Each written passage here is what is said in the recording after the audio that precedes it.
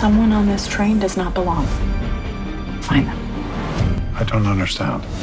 If I identify them, someone on this train's gonna kill them. You stop this goddamn train.